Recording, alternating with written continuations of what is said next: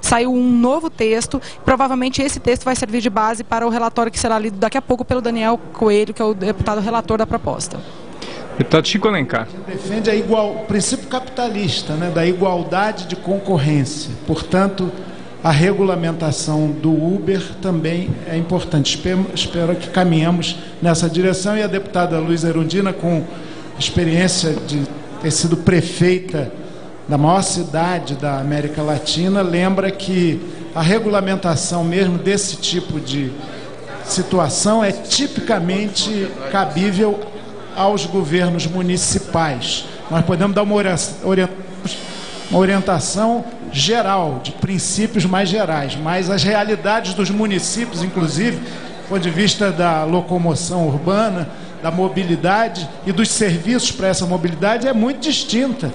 Não pode unificar o que é diferente, respeitando os direitos ao trabalho e dos usuários.